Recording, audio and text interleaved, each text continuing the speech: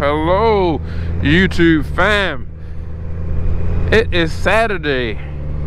Well, hello, YouTube, and welcome to the channel. Hey, I got something a little bit different today. I normally would be uh, out riding uh, as I'm doing my videos here, but today we have something special, and let's talk about it. So, new to the garage. And if you've been following my channel, I've been talking about getting something new for 2024.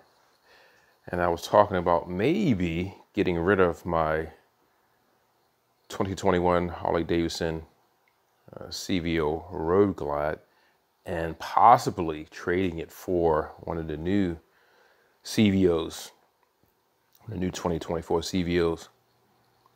Um, so of course, I did not do that because it is still sitting here in my garage. And one of the reasons, eh, you know, and we're going to touch on this a little, probably a little bit later when it gets to the new ride here. Um, this CVO still supports, not still, but it has always supported uh, Apple CarPlay and Android Auto. The same thing for my Road Glide Limited. But for the new CVOs and the new Harley Davidsons with the infotainment, the new infotainment system. Uh, they do not uh, support Android Auto, and I am an Android guy. So, yesterday, I took delivery of my 2024 Honda Goldwing in pearl white, and this is the manual transmission. So yes, I have to operate the clutch. Now, if you've been following my channel, you absolutely know that I've owned a 2018 Honda Goldwing as well. And that was a DCT model. It was in the Ardent Red, which I love that color, by the way. You couldn't go wrong with that. I think that was a great color when they came out with that. But for 24, um, you cannot get that color in the 24 model. You can get it in this color, which is a pearl white. And see if I can get in there real close and see if you can see some of the flake in there. And this thing looks great in person. And I kept looking at it on the website. And I kept saying, ah, I really do want to change it up. As you can see, it has the black as well with the red accents see if I can move around here. Get back up a little bit. I kind of have it parked uh, in a spot that I probably should have moved a little bit forward in the garage um, where the lighting is a little bit better. But we're going to do a full ride and I'll be able to get pictures out in the daylight. So it snowed uh, overnight here in uh, the DMV area. So um, I had to get up there yesterday. I've been working the deal all week, uh, come up with the uh, right numbers um, to help me make my decision which route I would go. The numbers were very good. I couldn't take delivery of it on Tuesday uh, when I showed up at the dealership this week uh, because there was a recall that came out um, for the Honda Goldwings. Um, but it, they looked it up and they confirmed with Honda that um, this particular model uh, was not affected by that recall. Something in reference to the fuel pump impeller. I think they put a recall out for the 2018 in 2019 to was it 2018 through 2020s, something to that effect. So even it's dating back uh, to 2018. Um, there's a recall, and your vehicle may possibly be affected. Of course, um, if you already own a Honda Goldwing in that model year, you will be contacted. Uh, and to at free of charge, it will be uh, repaired. Um, but uh, yeah, no issues with this one. So they were able to uh, go ahead and release it and allow me to take ownership of it, take delivery of it. So I did that yesterday, um, late uh, yesterday, that is, uh, because uh, I was waiting on a call from them to confirm. Got kind of late in the afternoon. So I finally got the call, got the email, said, oh, the bike is ready. So I made it up to the dealership um, 15 minutes before they actually closed the doors. Uh, but of course, they were waiting on me. I had already, you know, got the insurance on it, so it was already prepped and detailed for me. Um, they dropped the tags on it, so it's just a matter of uh, signing the paperwork and uh, getting my gear on, uh, getting my phone connected. Like I said, uh, the Honda Goldwings still support Apple CarPlay as well as Android Auto. So, um, so I'm stoked about that. I'm stoked um, about the uh, fact that I was able to get a manual transmission. Now, I enjoyed the DCT uh, when I had it. Um, like I said, I rode that uh, motorcycle from Maryland to DCT uh, uh, Goldwing, that is from Maryland down to Atlanta, Georgia, then down to Birmingham, Alabama, and back to Maryland. And uh, like I said, I enjoyed the ride. I enjoyed it. The bike is, is, is, phenomenal.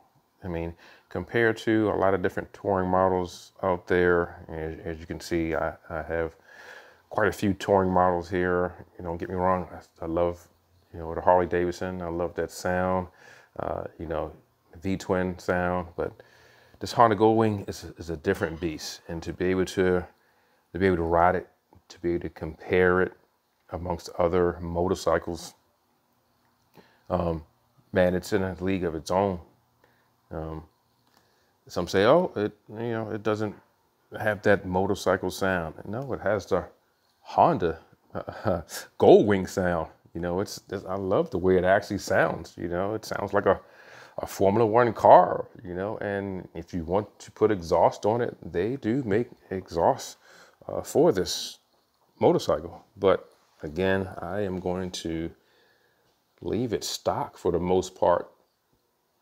Um, that's my preference. I try to do that for the most part for every motorcycle that I purchase. Now I may change, you know, like windscreens. I may put a slip-on exhaust like I did for my BMW, um, as well as my CVO. And my CVO, it actually, I purchased that uh, used and it had TAB Performance uh, with the zombie baffles.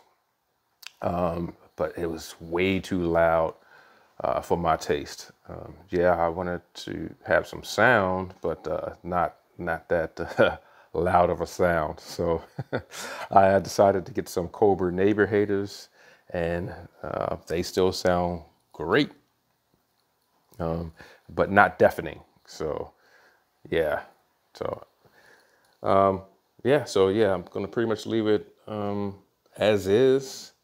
Um, I'm looking to put uh, a whole lot of miles on it uh, this year.